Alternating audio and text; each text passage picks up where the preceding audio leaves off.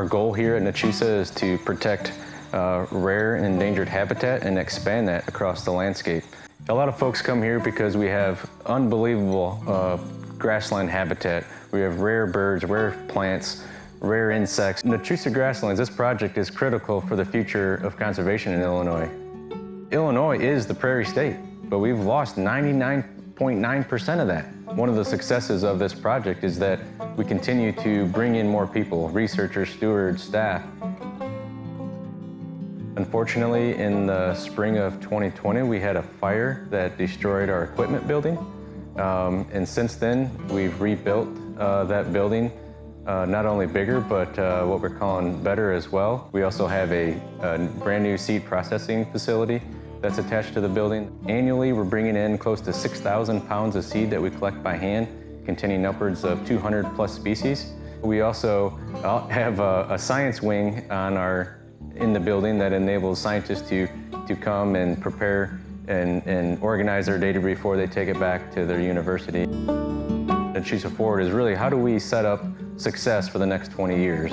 And so, you know, when I look back behind me, I see, I see prairie, I see endangered species, but I also see, you know, bison. We like to uh, consider them an ecological keystone species. You know, the bison create habitat that other species within the prairie need to survive.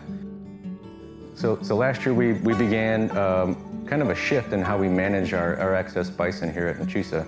We um, relocated 30 um, excess animals um, to the Cheyenne River uh, tribe in South Dakota.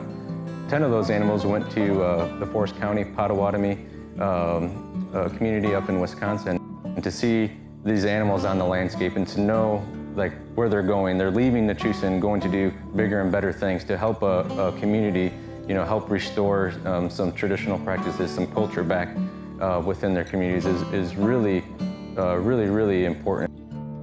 Nachusa Grasslands is an amazing place and know, we, we couldn't do this work without the the dedicated uh, staff, our volunteers, our donors. Um, you know, some of the most amazing work that I've been, been part of has, you know, re returning the prairie back to the land. Um, it's been just thrilling. And now with this new bison project that we're working on, to be able to return these animals back to indigenous communities is something that I never thought I would get a chance to experience really working hand in hand with our, you know, our, our, donor and our supporters. You know, those are the folks that, you know, we're all in this together and we need each other to make this happen. And so we couldn't be more proud to, you know, be here fulfilling this work.